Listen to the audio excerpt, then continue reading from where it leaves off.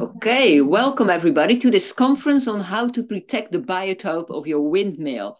My name is Nicole Bakker and I welcome you on behalf of the steering group of the Craft of the Miller Network. Today we will talk about the biotope. And everybody knows here a windmill needs wind to work and produce. But many mills, however, find the access to wind restricted by trees or other obstructions. Or they are potentially restricted by plans to create new buildings close to the mill. On our workshop today, we will cover the following topics. What is a wind biotope and what are the risks or the challenges? Um, an explanation of the wind biotope model, which we developed in the Netherlands, and Agnes de Boer is going to talk about that. And we have a study to validate and update the windmill biotope model from Steve Temple from the UK. After the two videos uh, with their presentations, we divide into four groups to discuss more about the challenges we have. And I'll explain more about the, the groups later on and how you get into a room uh, and which topic is discussed in there. But now um, I will start the video with Agnes de Boer. Dear listeners and mill lovers, I'm pleased to tell you more about the mill biotope in the Netherlands, especially about the working of the mill biotope formula as a planning instrument of local government. The subjects in my presentation are a brief history of the mill biotope, why is the formula developed? What are the calculation principles of the formula? How does it work and what does it predict? How is the formula used in, planned, in planning by governments, especially local government? In which cases is the formula successful? And what are the challenges the mill have to deal with in the planning system and how does that affect the loss of the windrose? Why was a mill biotope formula developed? The essential aim of the formula is that the functioning of a windmill requires a flow, a free flow of wind to the mill, and also a good quality of the wind without turbulences. It's just the same for a water mill. That requires a good supply and drainage of water, but that's less easy to capture in a formula. So we now only talk about windmills. In the competition for space between, for example, living, working, recreation and protection of heritage, rules are necessary. A mill biotope formula helps to make those rules clear and uniform. But where does the formula come from? A brief history. In the 15th, 15th century, wind and right arose as a feudal rights of a landlord. Mills were necessary for the economic security of existence, for example, grinding corn, sowing trees, and striking oil. The Netherlands, those rights ended with the Constitution of 1798. The Hollandsche Molen, our organization, was founded in 1923. We had different individual su successes in the 30s, 40s, and 50s with protecting the environment of windmill by local government. And also, uh, mostly higher governments were willing to take account of the mills, by example, planting smaller trees uh, along roads. The real start of the formula was in 1973. After the Guild of Volunteer Millers was founded in 1972, there came more millers, and so more attention for mills and their biotope. The Mill Biotope Working Group, existing of scientists, consultants, and employees of higher government, developed the mill biotope formula in 1982. The guild founded a, bio biotope card with millers who keep their eyes and ears open and fought for the protection of the biotope.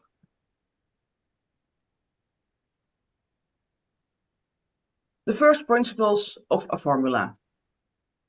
At first, water bounds and local governments apply the 1 to 100 rule. It's a simple and effective rule to predict the height of an obstacle on a certain distance of the mill. Because of the already presence of other obstacles like houses, firms and trees, there came an alternative in cities and villages, the 1 to 30 rule. This rule is still used in parts of the Netherlands.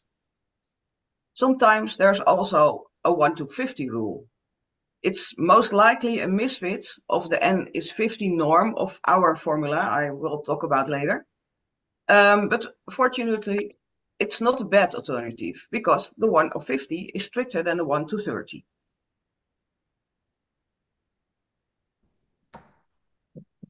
Then the principles of the mill biotope formula of the Hollandsche Molen, which is used in uh, great parts of the Netherlands. The aim of the mill biotope formula is to minimal, minimize the loss of wind and therefore the loss of power of windmills and to prevent wind turbulences. The mill biotope formula predicts the height of an obstacle at a certain distance of the windmill. At first, to prevent turbulences, the first 100 meter around the mill must be completely free of buildings and trees. By higher mills, the buildings and trees in this area must stay under the height of the balcony or mound. Between 100 and 400 meters uh, counts the mill biotope formula. The starting of the formula is a maximum loss of wind of 5%. That's a loss of mill power of 14%.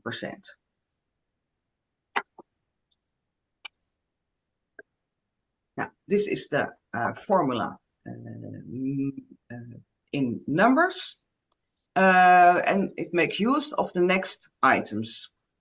The distance of the obstacle to the mill. The type of area.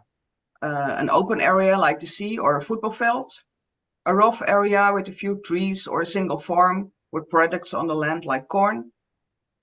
And a closed area like a city or a village with other buildings and trees. Then the wind shaft height, the height of the wind shaft from the natural ground height around the mill. This is also the half of, uh, half of the length of the sail span, uh, added with the height of, the balcony or the mill mount. And then you can predict the height of uh, an obstacle on 100, 200, 300, 400 meters around the mill. How is it used today in the Netherlands? Most, but not all, of the local governments have protection rules in their plans, mostly based on the one of the, one of the formulas. Also, few water bounds have protection rules, especially for polder mills, which still can pump water.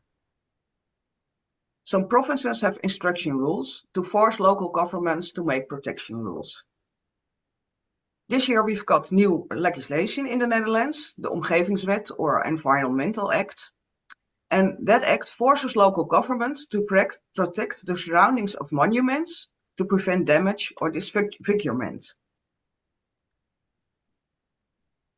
There are much difference in applied rules, and there are, are also different possibility for governments to deviate from the rules.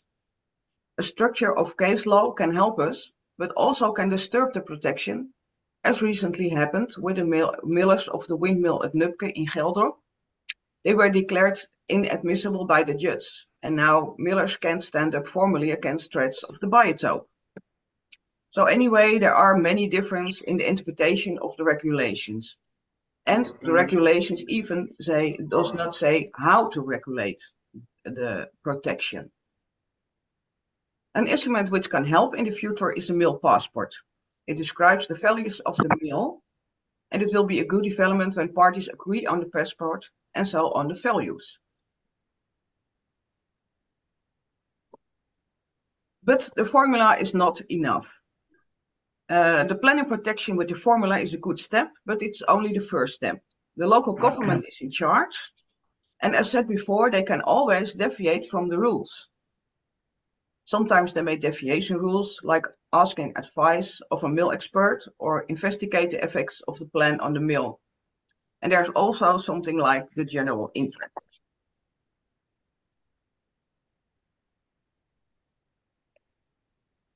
I was too quick.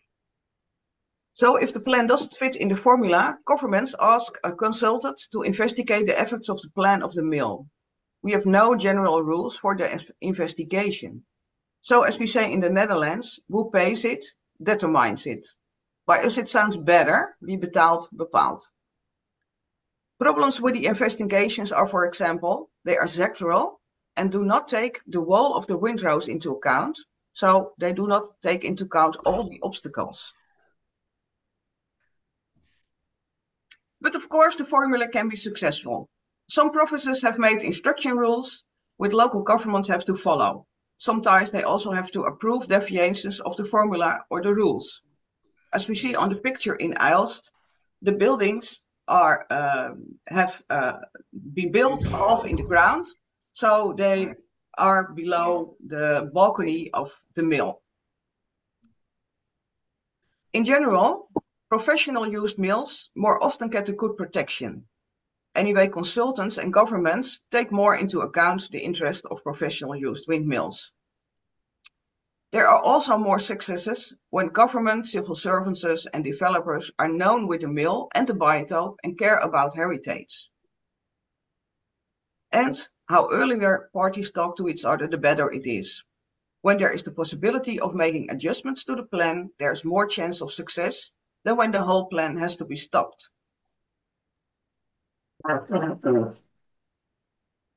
Current challenges. On this picture also an example of uh, good buildings around uh, a mill with a balcony. The houses are only uh, two stores high. The biggest challenge in our small country is to struggle on limited space. People will live, work, play, move, and enjoy nature and heritage. The environmental protection of trees is more often key priority, also because of climate, climate change. We need more uniformity in, uniformity in regulations, especially on the how of the protection. Most of the time, local government doesn't know what to protect and how to do it. We also need to integrate heritage protection into planning. Mostly taking into, into account heritage and its surroundings is not difficult, but you have to want it and know how to do it. Another challenge is that we want to stop the sectoral approach of the windrose and guarantee a maximum of 5% wind loss. How can we realize this in planning? There's also need to provide a more uniform methodology methodology for calculating the actual effects of an obstacle. Hopefully Stephen Temple can tell us more about this. On all levels, it's necessary to create support for the importance of windmills and of the need of free wind.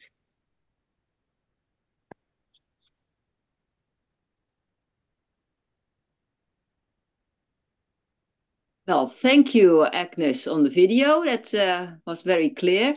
Um, I think we'll just go on with the presentation of Steve Temple uh, on the model of the UK. Uh, I ask everybody to uh, put uh, the microphone on mute just to be sure. And uh, then I will look for the video of Steve. And questions can be asked later for Steve and Agnes uh, when you are in the breakout rooms. I'm Steve Temple, and I have been working for some years now on the Molen biotope.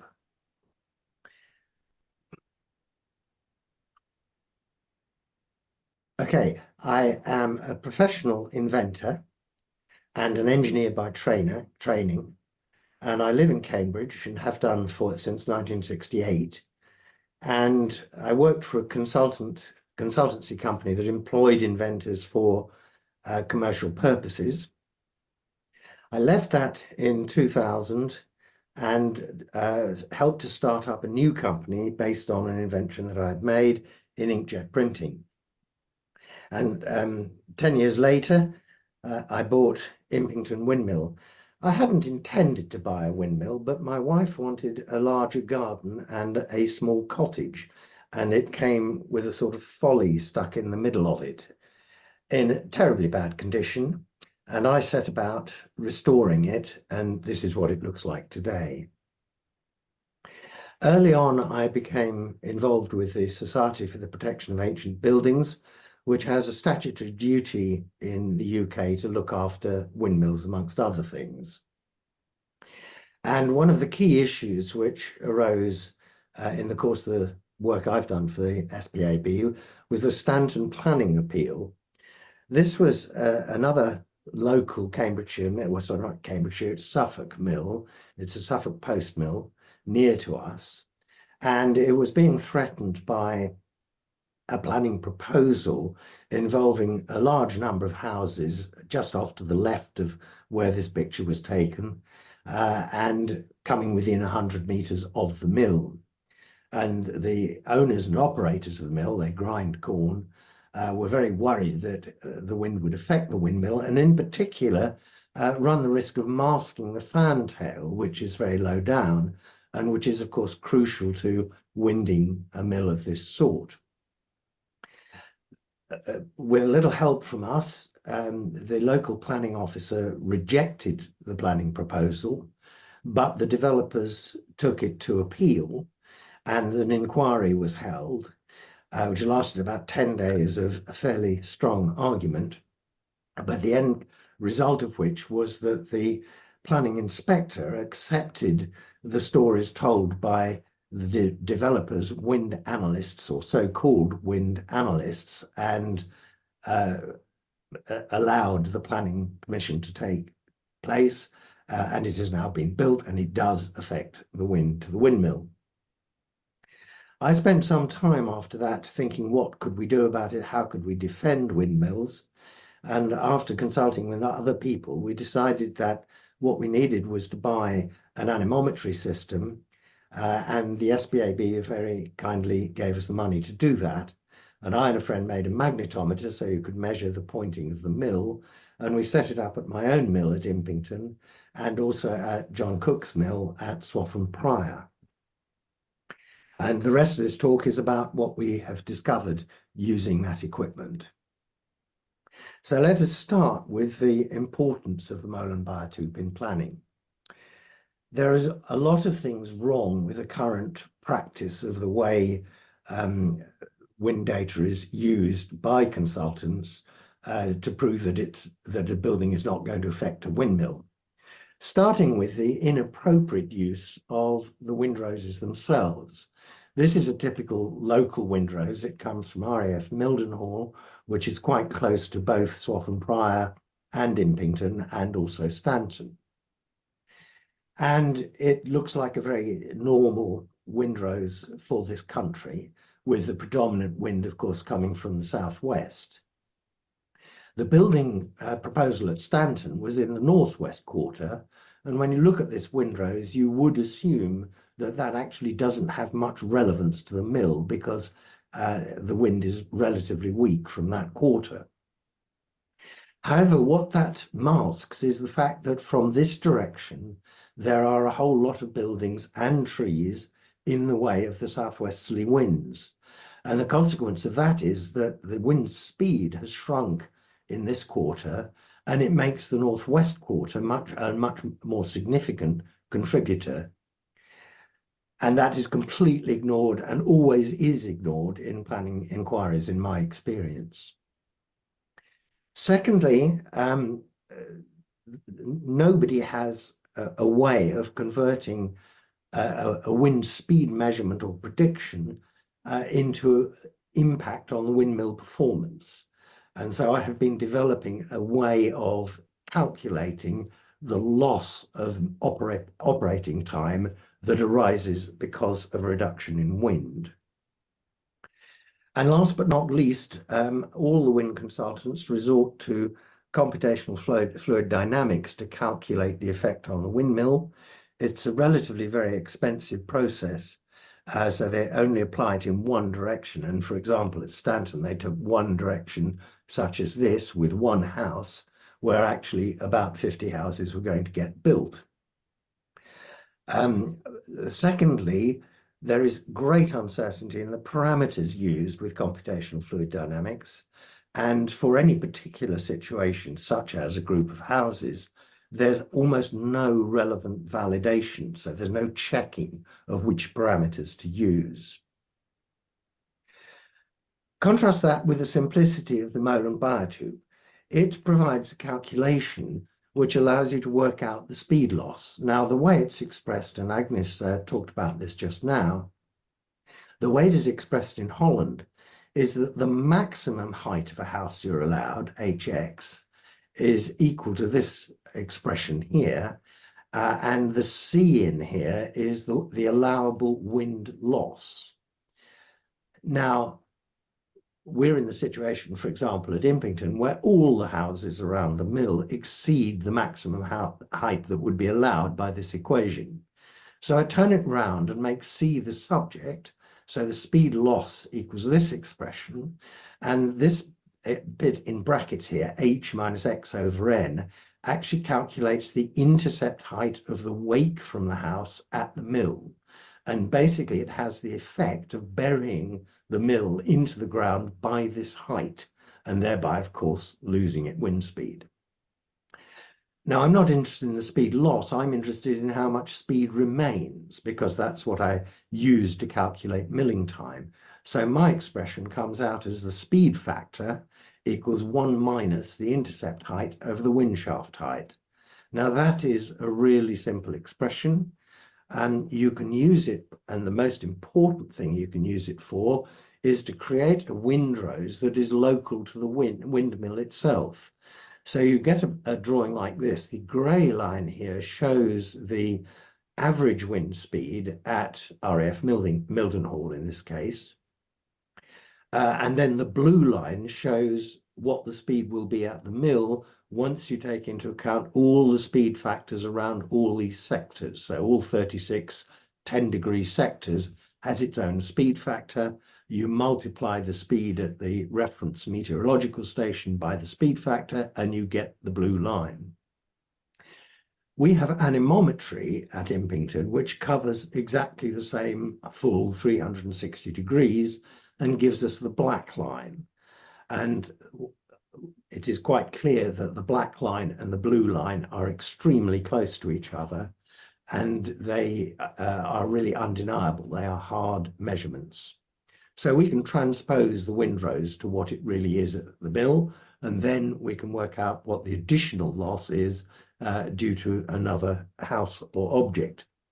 And this we present on another graph, which I call milling time, so this, the grey line now represents how many hours a year I could have ground if I had the wind as it is at um, RAF Mildenhall. The blue line calculates the currently available milling time that I have, and the black line is the anemometry equivalent of it. And you can see that this is a pretty depressing picture. The fraction of time that I can mill now is only a few percent compared to what it was in former times. But this graph is what we show the planning officers. It's a simple expression of the harm being done to the windmill. So let's understand the Molen biotope a little bit better. Um, start with the model that lies behind that equation. This is a pictorial version of representing that equation. Here's the windmill. Uh, the wind's blowing from left to right there's an obstacle here in front of the windmill. The, the effect of the obstacle is to lift the boundary layer over its top, and then the boundary layer gradually comes back down to the ground after some distance determined by the wake decay factor, as Agnes was describing. That line, the blue line below it, the speed in the wind is zero. Actually, it's turbulent, it's coming and going, but it's a net average of zero. So you can't mill if you had a windmill in this region. Um, by the time the boundary layer proper gets to the mill, it's down at this height here, where the blue line intercepts the height of the mill. So what has happened to the mill is that originally it had a boundary layer looking like this uh, mauve line, but that has now been lifted up to this height and in order to get the same speed at the mill, you have to get a faster wind like this.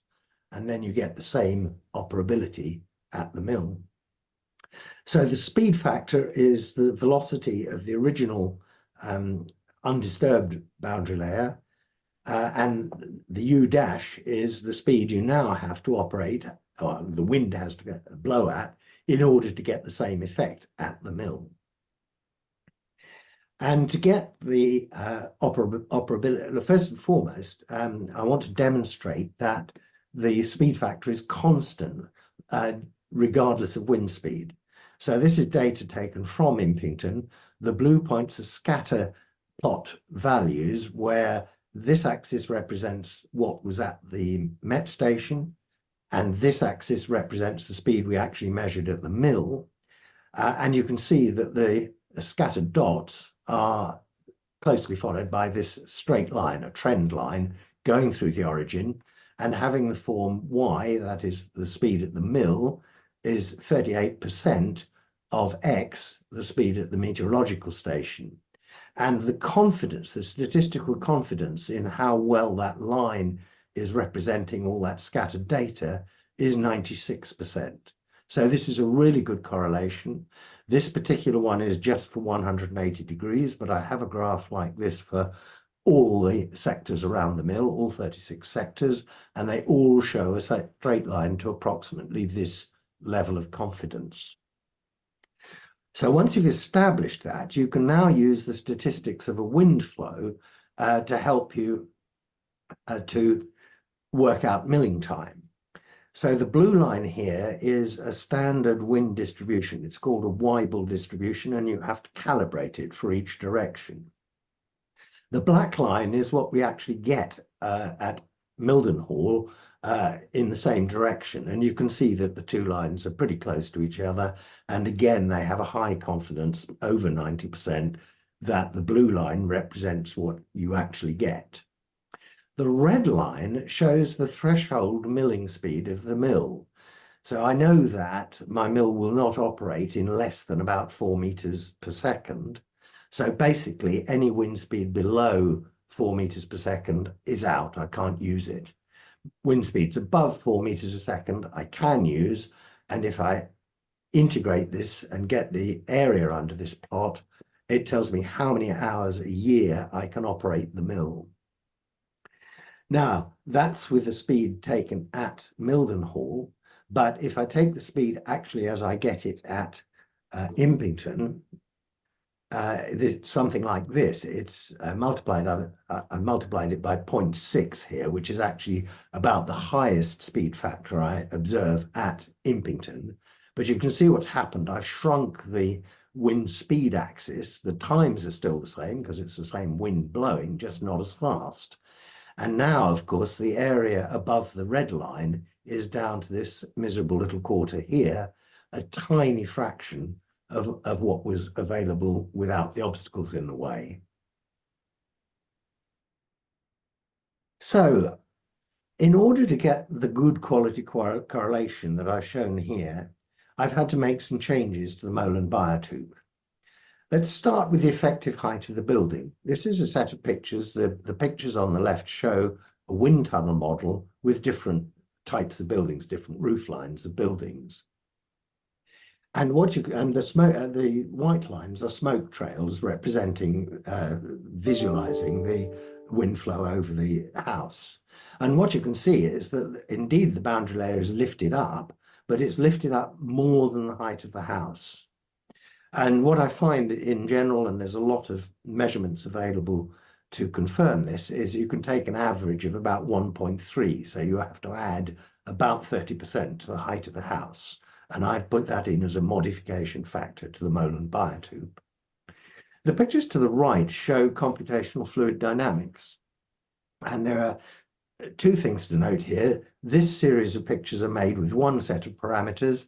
This set of pictures is made with another set of parameters. And you can see immediately they don't look very much like each other. And also neither of them looks very close to what we've got on the left actually happening in the wind tunnel itself. So this side of this picture shows quite clearly how difficult it is to get computational fluid dynamics to represent reality. Now, second point is that the Molen biotope offers you three different wake decay distances, as it calls them. Uh, and the question is, which of these three values should I be using? And the answer is very simple. I should be using 50. I've tried a range of factors in my calculation and the optimum always turns out to be 50. So we're always dealing effectively with an urban environment because that's what you get behind a large obstacle. And another point about it is that um, the Molen biotope makes the assumption that um, the atmospheric boundary layer has a linear um, profile. So the orange line, where every time you double the height, you double the speed is what is assumed in the Molen biotope. But we know from all sorts of measurements that that is not right. Uh, it should be used, uh, calculated using a logarithmic distribution as shown in this blue line. And that makes a very substantial difference to a number of aspects of, of what we're trying to calculate. So I now have built the logarithmic profile into the Molen biotope. Now, trees. Trees are a subject which everybody is concerned about, and quite rightly so, um, because they tend to dominate. They're much higher than houses. Excuse me. now, the thing about trees is that they have a non-zero wake. They don't bring the wind to a full stop. They're porous and they allow wind through the leaves. Uh, and so I have reworked this boundary layer uh, in the presence of a porous obstacle. So now I have the porous obstacle here is eight meters high and up to eight meters, I, am allowing about 60% of the flow to come through the tree. And then above that height, of course, it resumes its normal profile. Again, the blue line shows the logarithmic equivalent of that as soon as now the thing about houses is that they also tend to have porosity because you never get or very rarely get a solid block of houses right across the front of the windmill. Typically, even a terrace of houses has gaps in it, and single houses, of course, have quite big gaps between them. So we should treat houses as being porous as well. Um, and in that case, you can do everything with this one model of the atmospheric boundary layer. And in particular, what you can do is to put successive obstacles in line. Uh, and you need to do that once you deal with porosity. Uh, some wind gets through from one succession of houses to another or succession of trees. And so you have to be able to combine them together. And that is what I've done in this graph. So those are the things I've done to change the treatment of the Molen biotope. And it is those things which give the excellent quality of comparison between the predicted values from the Molen biotope and my measured values from um, obstacles, from anemometry. But there's one other thing we need to take into account, and that is there are systematic variations in the wind. And first and foremost, there's a day-night variation. This is raw data taken from Impington. Uh, and the scale along the bottom here is days. So each of these divisions is one day. And what you can see immediately is you get a peak in wind speed um, at around midday every day and a trough around midnight every night. So if we simply average these, which is what is normally done in uh, windroses, we are really not giving the story correctly for the windmill. So I now use windroses that are daytime only um, and ignore the nighttime values completely. Secondly, of course, if you're dealing with trees, you need to have some winter variation because of the, the deciduous trees are much more porous in winter than they are in summer. But it's also true that the windroses themselves change from wind, winter to summer everybody knows that it's it's windier in winter, but here's a demonstration of it. This is a summer windrose, a daytime only, from RAF Mildenhall, and this and note the the red bits around here. They represent the highest speed wind available during the summer. If I show you the winter windrose for the same period, you will see immediately that the wind is blowing much harder uh, around every single quarter um, during the winter. So we have to do the whole calculation for summer and winter separately and then take the total milling time to tell us what the performance is. So the validation, I've already shown you these two plots. Uh, these are the plots at Impington, uh, and they show how well the correlation is uh, achieved between the Molen biotope and measurements, and it shows you milling time. This is the same plot taken for Swaffham Prior, John Cook's mill. Um, and I'm sorry, but we didn't get data over this half, so hence the black line across here, uh, simply because unluckily in the time we had the anemometer up there, uh, it never blew at a sensible speed uh, from this from this half of the compass. However, during in the other half, the the match is pretty good. In most places, it's as good as it was at Impington, but in this quarter here, there's a serious discrepancy. And I can explain that, but I can't prove my explanation. Uh, there is a road, a bypass, that passes Swaffham Prior windmill at a shallow angle, and it channels the wind uh, up past the windmill. So it effectively ends up masking the windmill. And I put that uh, in rather artificially into the Molen biotope and got this red line, uh, which it gives, gives me back the good quality match that I was hoping for. But I have to say that is a bit speculative. What I really need is a bit more data.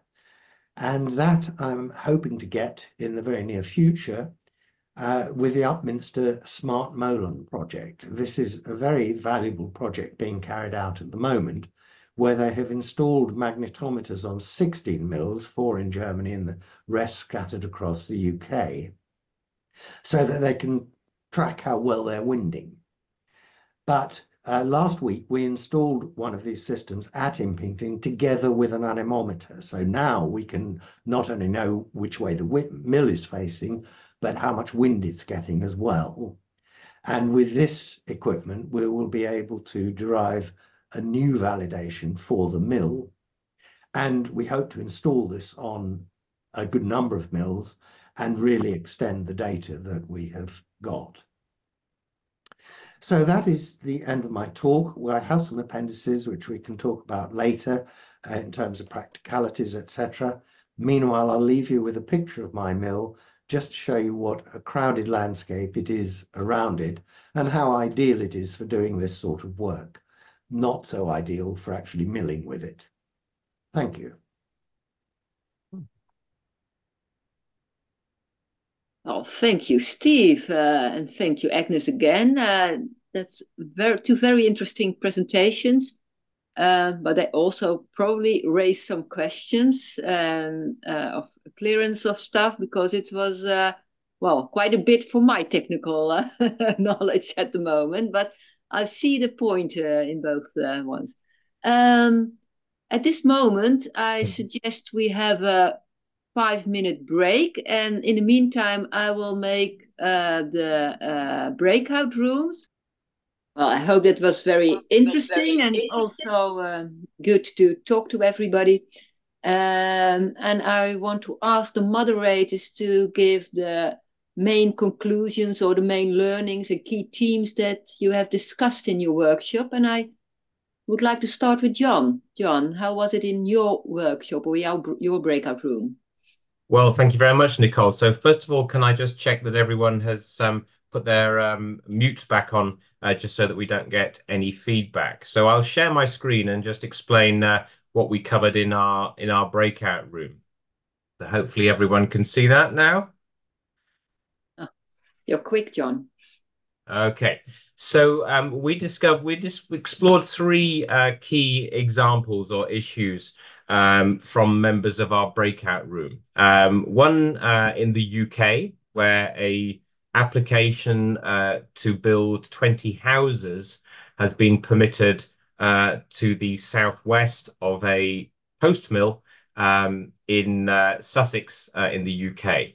Um, the interestingly, the planning officer uh, who assessed the application um, was concerned about the visual impact of the development on the mill, um, but um, were not uh, concerned about the impact in terms of the loss of wind. This is a working mill, and um, so uh, this is, of course, of concern. Now, the discussion we recognized um, the planning application has now been granted, so these houses will be built.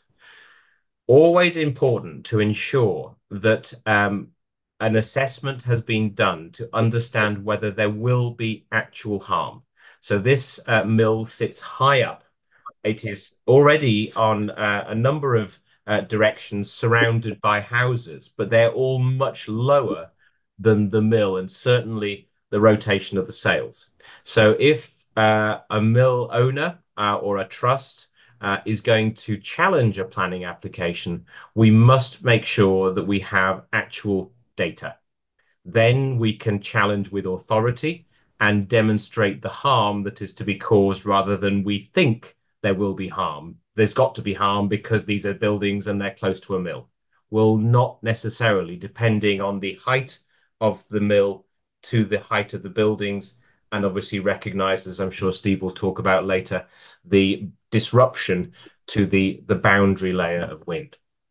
So um, key, therefore, to understand the heights of the roofs concerned, but also um, what will be ruled around the planting of trees. And although we were talking about buildings, trees also came into our discussion. So Eric, we we might beat uh, beat your thunder here. Um, so um, this question, of course, and I won't say too much because I'm sure Eric will be talking about this. Uh, if a tree is to be planted, it's not only five, ten years, it's when the tree reaches its full height. But I'll leave Eric, I'm sure, to pick that up. So what agreement is possible, if any, to ensure that the tree can be managed 30, 40, 50 years hence?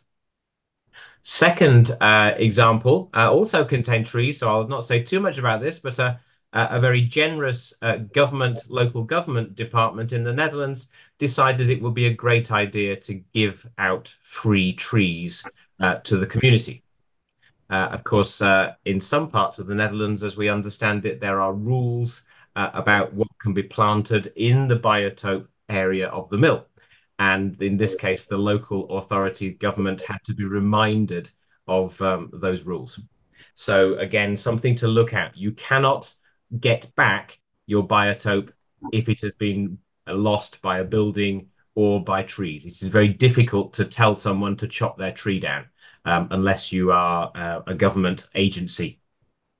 And the third example um, was looking at a development in the Netherlands where a developer is um, perhaps playing a game, um, making threats about what they would like to build as a way of trying to um, push the mill uh, and the mill trust uh, to accept their proposals. And so we recognized that it is probably going to be essential to have the kind of assessment that Steve, I'm sure, will tell us about shortly. And the good news is that uh, this can be done, as I know Steve will say, without significant cost, uh, using the model and the tool that Steve is now developing, so that um, the any proposal that comes forward can be assessed against the existing uh, state in terms of the number of hours that the mill can operate the current biotope. So those were three of the themes, Nicole, uh, that came from our discussion. Um, and uh, yeah, happy to say any more about that if uh, any of the other group members of the group would like to. Thank you, John.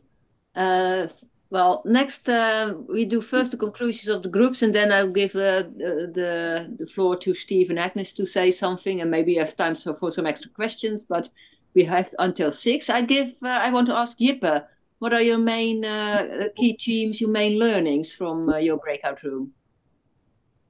You're on mute. Yeah, yeah, yeah.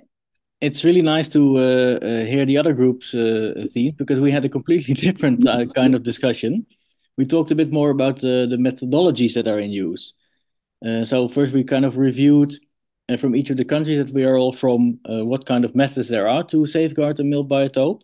And Alita had a really nice um, explanation about how she used, instead of the more uh, quantitative methods that we saw earlier in Steve's talk, uh, but how she used a qualitative approach to safeguard uh, an American mill or the biotope of an American mill um, that was very successful, but uh, completely there was no uh, talking about um, the more uh, quantitative approach on on the wind the wind models and the well the way to approach it like that. Um, we talked a bit more about how, for example, the international network uh, can also play a role in making an international standard. Uh, so that's also we in inventoried all these different methodologies that are in use, uh, and then we kind of concluded that the international network has a really big role in um, seeing to that all these methods are combined and that there is some sort of international standard between several of our countries. Uh, and I, Hannah also told us that uh, the steering group is also already talking about this. So that was also maybe that's a secret, but um, well. Um, so when we have all these methodologies, of course, there are results that uh, come from them, but uh, these results can be quite uh, difficult to interpret for planners. Uh, so one of the other issues that we talked about was how can we simplify these uh, the results from, for example, a, um, a, a, computer model or also a qualitative story.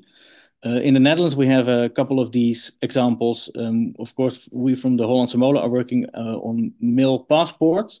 So these are a, a, system that we are developing to um, put into one document all the different kind of uh, the value of the mail, but not only in material value, but also immaterial things like uh, stories that are um, connected to the mail, but also the landscape part of it. Uh, for the landscape part of this, um, the mail passport, we work together with an archaeological company. They specialize in how um, a landscape is, um, how they describe a landscape and also the changes in the landscape. So uh, from there, we learned that it's really important that there is one standard by which you judge the landscape and you can describe it. Also in the Netherlands, we have a system um, that has been done by several provinces um, where they did a, um, um, there's a map of the Netherlands with all the heights of all the objects. So you can make an analysis of everything around the mill uh, from a certain distance. And you can kind of make a, well, this is a bit more quantitative, uh, quantitative so you can see, oh, the, the objects uh, have gotten higher over the years. Uh, so these are also methods that you can simplify the um, uh, the results of these uh, biotope inventories. Um, well, we also had a little bit uh, of a discussion about how to compensate. Uh, if there's a big development, how can you determine the, compensation that you uh, want to get from the developer? but here, the well, the discussion was a bit. Um, there were diff different approaches to it. Um, maybe Stephen can, because I brought in in the Netherlands, we have a, the, the, a method that has been used in the past, the social cost benefit analysis. Uh, that has been also uh, applied to mills, but Stephen said, uh, well, this is for the that something that the planners themselves also use. So uh, you shouldn't use their own methods against them. But maybe Stephen can talk a little bit more about his views on that. Yeah. That's well, it. I think that's, yeah, yeah, that's it. Okay. Well, uh, thank you, Jippe, and uh, well, very interesting. That's uh, the complete different topics come uh, come up in this uh, breakout room. Well, then already the trees. Uh, John already spoke something about spoke about trees, but Eric, what was the, spoken of in your breakout room? And please unmute. Yeah. Yes, thank you. Well, the most important conclusion was that trees are growing taller, but buildings not that concludes my uh, my presentation. No, no, no, no, joking, joking. Um, one of the problems uh, we uh, discovered was that um, uh, greenery is often planted just, yeah, it is there, and everybody likes it. So why complain? Um, and therefore, uh, uh, legally, um, uh, excessive greenery is very difficult to deal with. Uh, and uh, uh, if you want to do something about greenery uh, or trees about uh, around your mill, then there is a dilemma because everybody loves the greenery, everybody loves the trees, and they also love the the the mill. So that's yeah. How do you deal with that? Um, the tendency or the the the um, the, the formula, uh, the biotope formula, has a very strong identification with buildings, and not so much with trees. So how do you explain to to to all the people that you have a formula not only for buildings but also for trees? We as Miller, we really like to use a simple formula much more simpler than Steve explained to us. But if you uh, uh, if you hire consultants, the, and they uh, uh and they uh, they have to pay you a lot, or you pay them a lot of money, then maybe the, the, the more complex formula which explains everything and taken into account all the factors yeah, of course, then you have to use the the, the formula that which is uh, very justified. And last but not least, be friends with your neighbors. Whether uh, either it, it is a uh, uh, owner of a big garden with big trees, or officials of the municipality, but um, they are your neighbors. Invite them every year, continuously, and give them coffee. Explain to them what uh, uh, what the trees they are uh, uh what the trees does for uh, for the mill. Um, uh, well, be friends with your neighbors. I think that's that's very important. Um, let me see if there is something else. If you speak to the officials of the municipality, ask for uh, a, a, zoning plan, ask for a environmental plan around your mill. If it's not there, help them to uh, to to make it for for your for your mill. That's it. Thanks. Oh, thank you, Eric. Very concrete. Very good. Yes. Um, I also will ask uh, Stephen and Agnes for some major points. Uh, first, I start with Steve. Uh, can you do it in three major points, five minutes, Steve, or to talk about where you've been because you've been in several workshops. So I've been in all three uh, and had lively discussions in all three, which is brilliant because it's not a topic which gets aired in this way. I think there probably ought to be an annual Molen Biotope conference to see how we're getting on. Ah, good we idea. Should we should record all the planning results, successful or otherwise, and how many people have persuaded their neighbours to thin their trees at the least, etc. Um, just sort of round up a couple of points. My aim is to publish the spreadsheet it is a simple calculation. I mean, it, it it's about as simple as you get, but you have to do it many times because you've got to go all around 360. You've got to do it for summer and winter, and you have to measure all the obstacles. Now, somebody said use LiDAR, and I will look into that because that could be a brilliant answer. Uh, otherwise, it's the most difficult part of operating the spreadsheet. But I am planning to publish it and publish notes about how to get windroses and things like that so this is an ongoing story. Plus, obviously, we plan the further verifications with um, the Smart Molen project.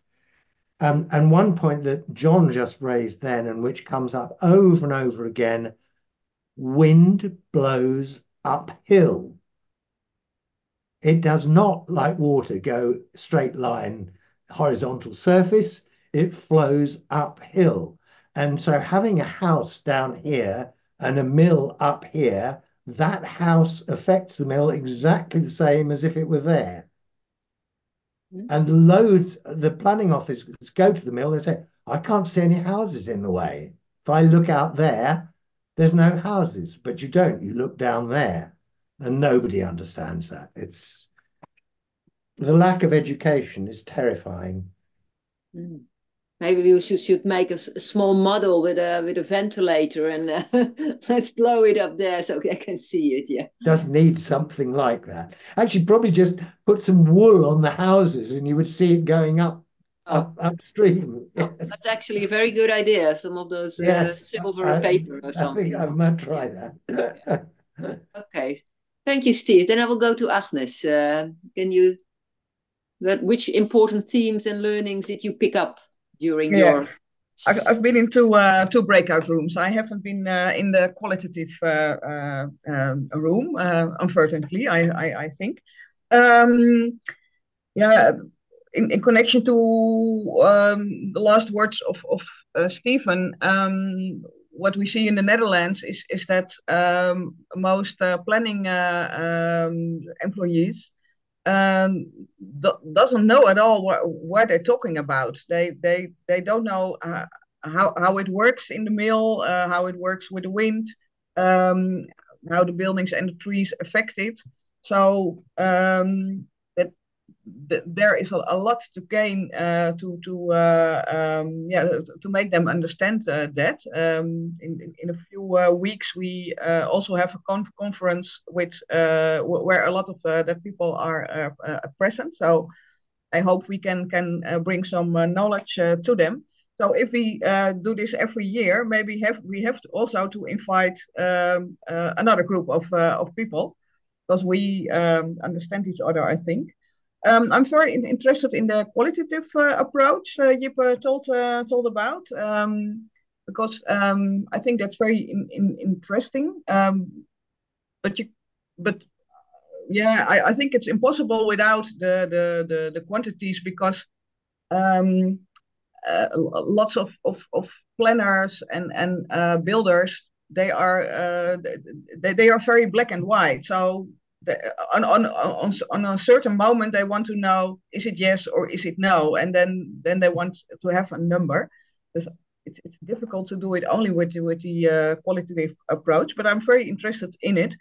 I think it depends a lot on um, if if uh, if there is a goodwill uh, at, at the other at the other side then then then you can approach a lot uh, you can um, reach a lot uh, with uh, with it with with that that approach um, um, an international standard would would also be be be nice, but um, I I also heard uh, uh, we have uh, very different regulations in all the countries, so that's that's uh, maybe a big big step to to reach. But uh, um, um, anyway, we can uh, learn for, for, from each other at how how you use it in in the other other countries because that uh, that, that that will be still will be important. But uh, um, if we, if we can reach one one standard, yeah, it's uh, it's nice, but also very difficult, I think. We we, we don't have it in the Netherlands, so. Uh, Sometimes you have to aim high. Yeah.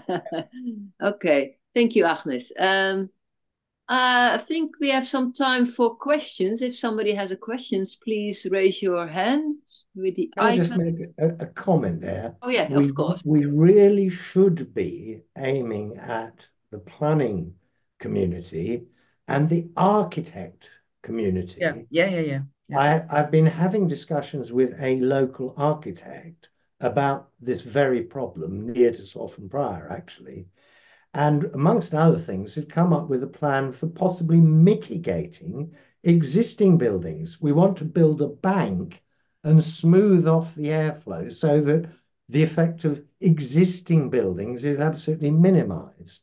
And, you know, if we could get a few discussions going like that, that would have a profound impact.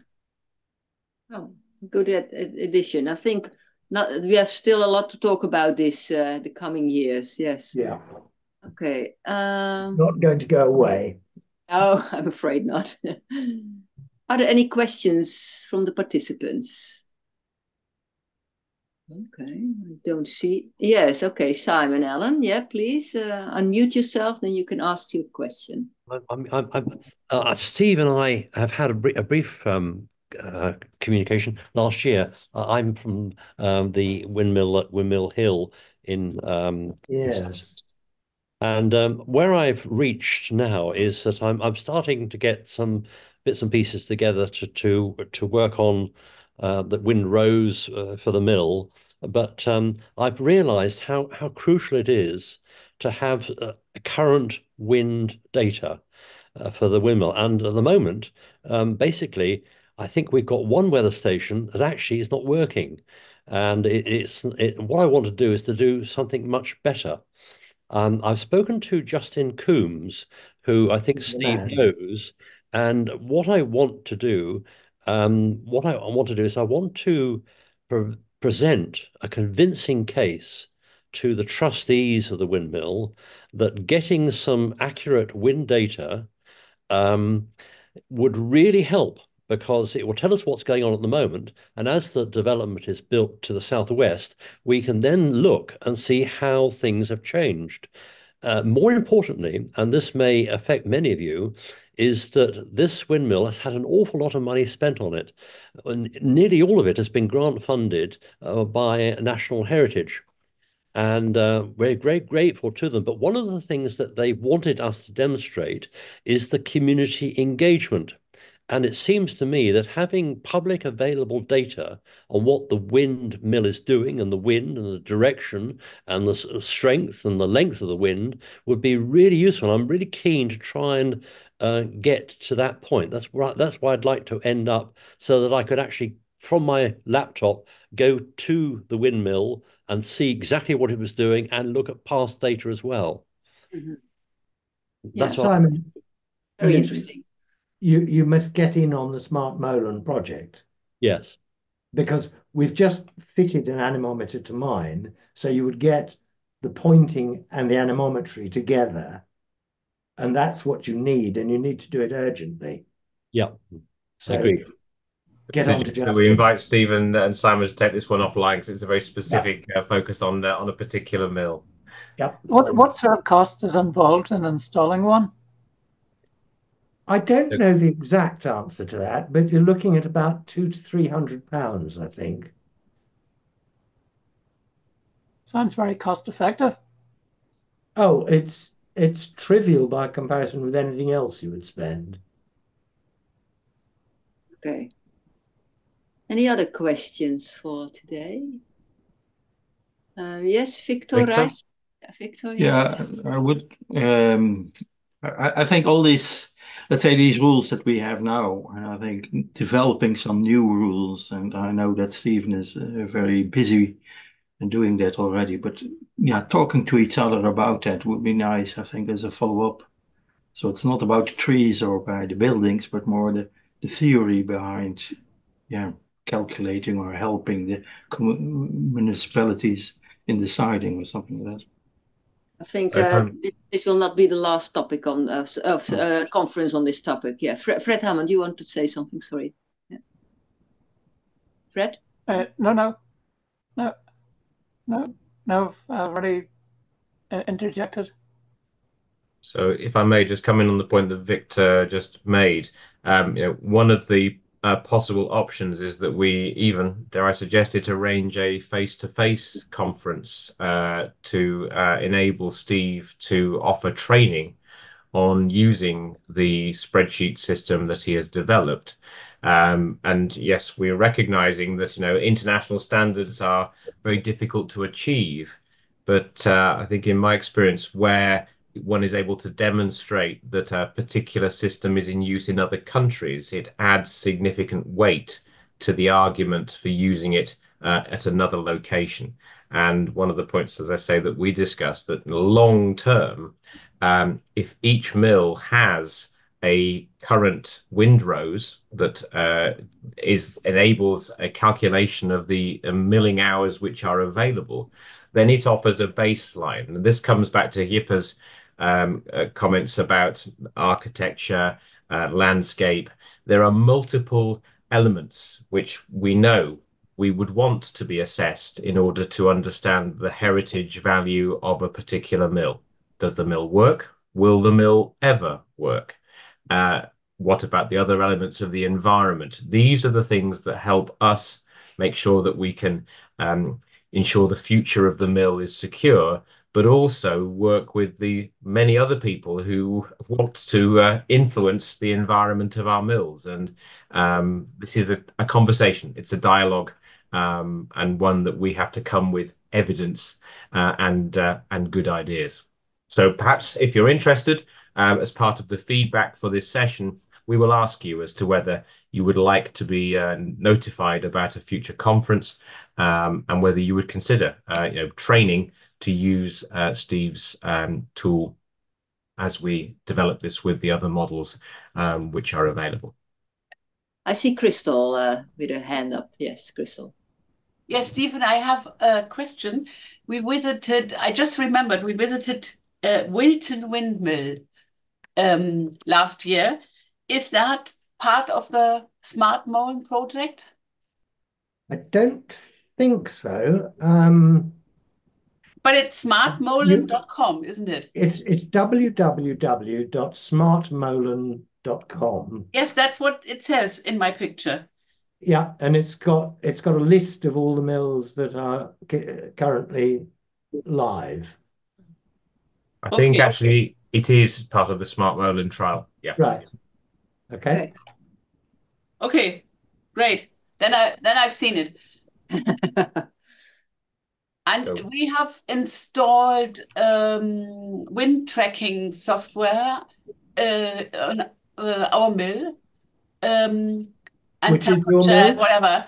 Um, and uh, do you think that would help to take part in the Smart Molen project? Even can you Sorry. say something about that? I, I, I- didn't quite follow that. Were you asking if it costs money? No.